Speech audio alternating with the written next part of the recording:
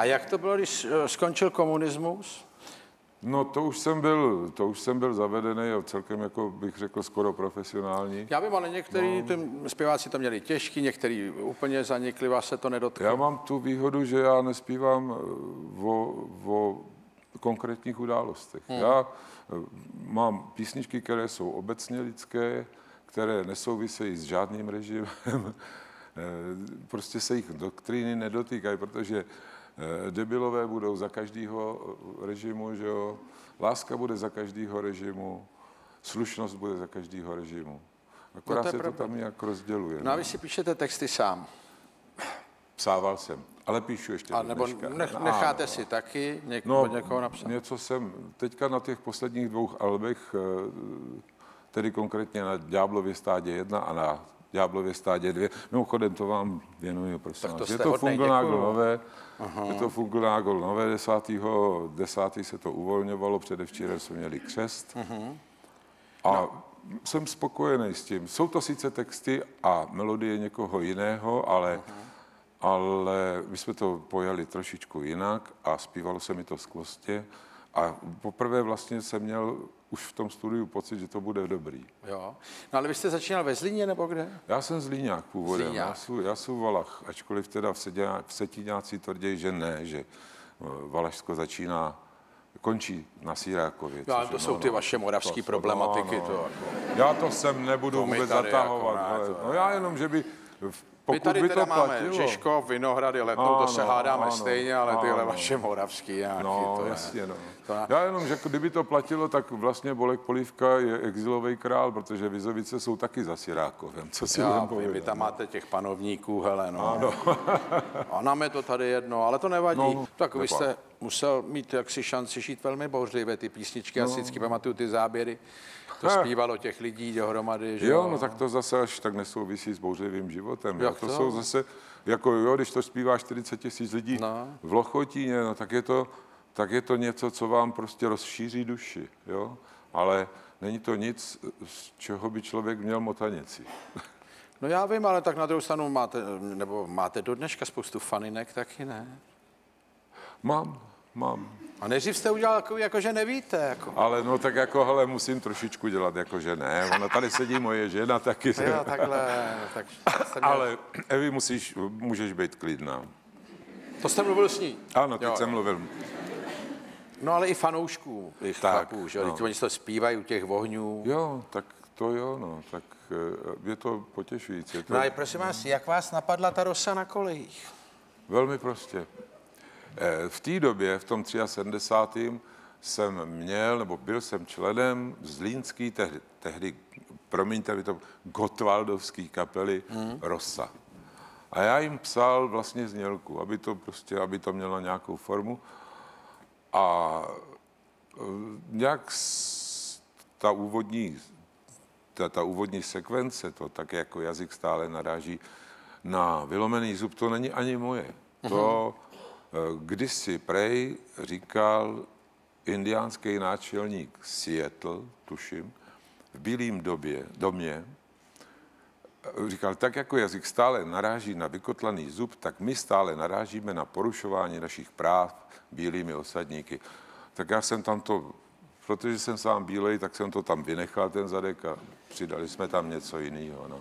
Ale je to krásný obrázek. Já měl tehdy možná vypadlou plombu. Nebo Já jsem teď chtěl no, říct, no. že to se mi hned živě vybavuje, no. tenhle ten obraz s tím narážením na ten no, vykotlaný zub. Uh, to člověk poznal let kdo. No, druhá věc je, jsem vás vám dneska teda onemocnil kytarista, že jo? Jste no říkal? ne, on nám neonemocnil. Nebo dneska. úraz si způsobil. Ano, to je, já říkám Tepepa Štěpánek z Ďáblova stáda. A on je z Ďáblova stáda, jo? Z toho mýho. Jo, to je vlastně Ďáblovo stádo. Aha, já myslím, že se tak jmenuje jenom z jiných forma, A z jiných formací, tak ten si zlomil zápěstí, ale je to, jak říkají eh, američani, really tough man. A odehrál s tím jednak zkoušku a, a ten křest nedávnej, Až pak mu to teda teprve dali do sádry, ale se sádrou už tady to nemůže, nemůže být. No. no ale tak vy u vás s tím hlasem... Já si s tím poradím. Ne, ne, ale tak u vás není problém, že vy můžete zpívat bez všeho, ne? A víte, že jo? Můžu. Tak já to teda můžeme si dát no. kousek? Že bychom si dali čistý hlas Vabyho Danka. Dáme, dáme celou píseň, prosím vás. To Prosím vás, tak to je ohromný. no, eh, je to to písnička ani z toho, nečekali. Je to písnička z toho nového alba, z alba Příběhy písni. A ta se mi tak líbila, že jsem ji měl přeloženou za hodinu a půl. Jmenuje se Drunk Scotsman. Znalci vědí, ostatním přeložím, vožralej Scott. A prosím vás, klidně můžete plácat, protože tady to je zesílený, nepřijdete o text. Vypadl takhle z hospody mladý Scotsman v kiltu a nohy trochu svázaný tou whisky, kterou pil tu. A jak pověz vypráví, když nemohl užít dál, tak švihnul sebou do trávy a usnul tam, kde stál. Ring ding diddly dládio, ring ding diddly. Tak švihnul sebou do trávy a usnul tam, kde stál. No výborně. Tou dobou kolem kráčely dvě hezké mladé dámy, co je tak mohlo napadnout, když se s kotem jsou sami. Chvíli jen tak špitali a pak to slovo padlo. Půjdem se Mary podívat, zda pod kiltem má prádlo. Ring ding diddly dládio, ring ding diddly. Půjdem se Mary podívat, zda pod kiltem má prádlo. Tak přikradou se k Scottovi, tiše jako myš. Lemkil tu něžně uchopí a pozvednou jej výš. Co vidí, to jim vezme dech a od té chvíle ví, že Skoti prádlo pod kiltem opravdu nenosí. Ring ding diddly dládio, ring ding diddly že Skoti prádlo pod kiltem opravdu nenosí. Chvíli žasnou bez dechu nad tou podívanou, pak strach je nutí ke spěchu, ale než opravdu vstanou, tak Mary z vlasů vyloví modrou hedvábnou mašli a uvážejí Scottovi tam, kde ho nejvíc krášlí. Ring ding diddly dládio, ring ding diddly jao. a uvážejí Scottovi tam, kde ho nejvíc krášlí. Po chvíli Scott se probudil, příroda chtěla svý, tak stal a rychle plášil opodál do křoví. U stromu mašli objevil a úžasle se ptal, kde pak ty kluku zvítězil, zatímco já jsem spal. Ring ding diddly dládio, ring ding diddly kde pak ty kluku zvítězil, zatímco já jsem spal. A je to.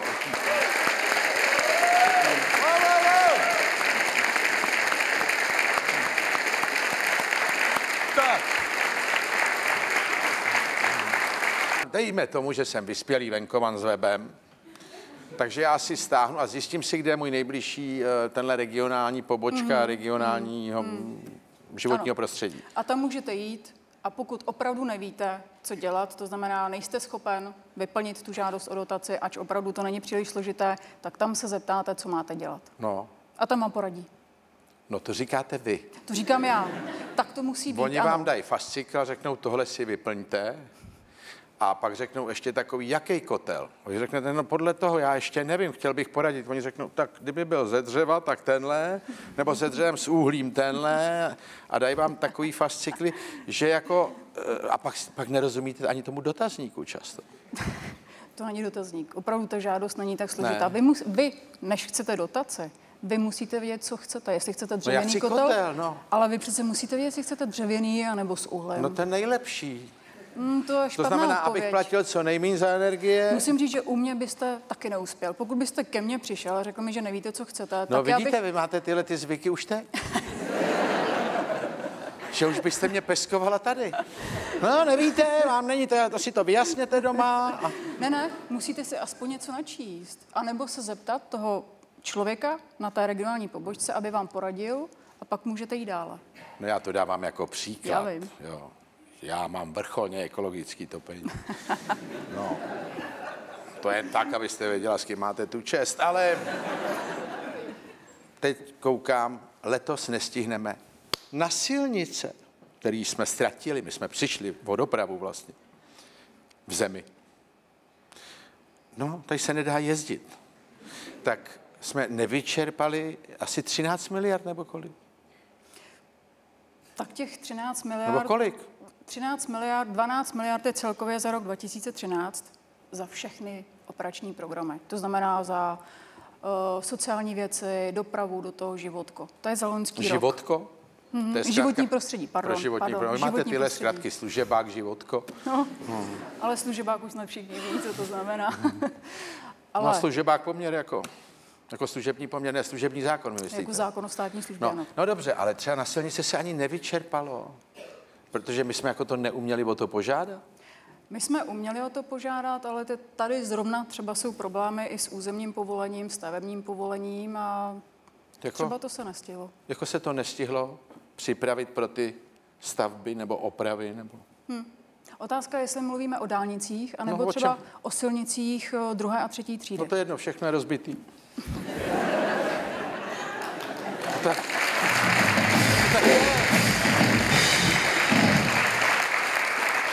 teď řekli, že budou příští rok intenzivně opravovat železnice.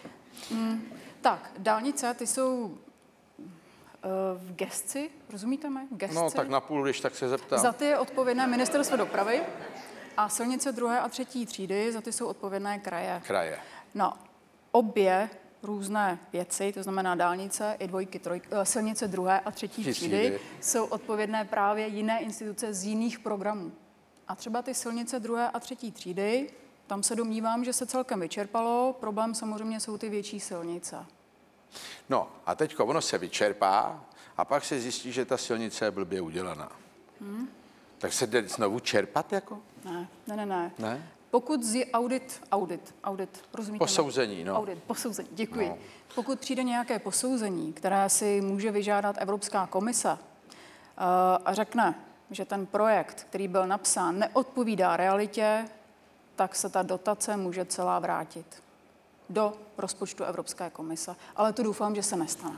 Dobře, no ale tak eh, tam je šance o tom s nima diskutovat, ne? Eh, můžeme diskutovat třeba o tom, že nevrátíme 100%, ale třeba jenom 10% a 20%. A to je právě úloha mého ministerstva. A zatím se nám daří. No ale to vaše ministerstvo má na starosti spoustu věcí, že jo? Mm. Vy máte jedna, která tyhle ty peníze z evropských mm. fondů. A co ještě? Pak máme veřejné zakázky. Veřejné, no tak to je teda bago. Jak jste na tom teďko teda? Já myslím, že s novelou zákona na tom budeme velice dobře. Myslíte s novelou zákona o veřejných, o veřejných zakázkách? No to se furt tady dělají ty zákony o veřejných zakázkách. Ne, ne, ne, ne. Máme jednu novelu, která by měla platit eh, od eh, února plus minus březen 2015 hm, hmm. a od ledna 2016 budeme mít nový zákon a ten doufám, že naprosto všechno ulehčí a jo. budou, budou všichni proč? spokojení. A proč myslíte, či? Protože změníme stávající zákon. A to se říká vždycky, že ten nový zákon bude jak luxus. Jdeme tomu, že stávající zákon mm, říká to, že když eh, zadavatel obdrží jednu nabídku, no. tak se vlastně musí zrušit to zadávací řízení a nikdo tomu zadavateli už neuhradí ty peníze, co dal do toho zadávacího řízení. No. A co říká novela, ale i následně nový zákon, že pokud přijde jedna nabídka, tak se to nemusí zrušit. Nemusí? Ne. A to se vám zdá taková pecka? Uh, jo, jo, jo, jo. Je to pecka, je to pecka.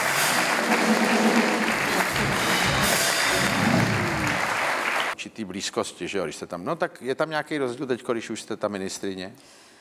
Na ministerstvu? No. Tak eh, já úplně nechci říct, že eh, jsem pedant, no. ale trochu jsem. A vzhledem k tomu, že jsem ministerstvo přizpůsobila tomu, co má v kompetenci, takže jsem opravdu změnila i různé sekce na tom ministerstvu, mm-hmm. tak já věřím tomu, že opravdu budeme fungovat. A o co se snažím a o to mě opravdu jde. A to je i ten důvod, proč jsem šla z biznesu do státní zprávy. No aby jsme byli jednotní, soudržní, aby jsme byli tým a to chci po svých lidech a to si myslím, že by měla být i vláda a následně i poslanecká sněmovna. Já vím, ale když lidem nařídíte, aby byl tým, tak se to nemusí povést. Čo? Já spíš koučuju. Jo, takhle. Hmm. Koučujete? A jak jako? Třeba kdybych byl takový váš mírný odpůrce, jak byste mě dokoučovala k tomu, abych byl, abych byl tým? Já... Debatou. Debatou. Hmm. Jako, že byste řekla, co blbneš, jo? To ne, to ne. ne. Vedli bychom věcnou debatu. Věcnou? Vaše názory, mé názory. A já nejsem ten, kdo úplně stojí. Jako já se nechám celkem i udolat, pokud ty názory stojí za to. Jo. Hmm. No a takový váš cíl, představa, když si řeknete, dobře jste to udělala, Karlo? Určitě bych se chtěla pokusit, aby v Ministerstvo pro místní rozvoj bylo vnímáno jako silové ministerstvo, protože přeci jenom teď sedím, nechci říct já osobně, ale asi jo, já osobně jako ministrně na spousta, spousta, spoustě miliard. až bilionů korun a chtěla bych, aby především eh, moji lidi, to znamená úředníci, kteří tam pracují, byli vnímáni jako ti, co dělají ministerstvo. Nejsem to já, já jsem jenom chvilkový nebo dočasný obličej, ale ty lidi jsou tam a ti jsou pro mě velice důležitý. No a máte o nich trošku představu a pojem, jak pracují a tak? Určitě mám. Děláte kontroly nějaký? Já občas i vběhnu do nějaké kanceláře. Jo. Hmm, určitě. Že mají vás rádi? Já myslím, že jo.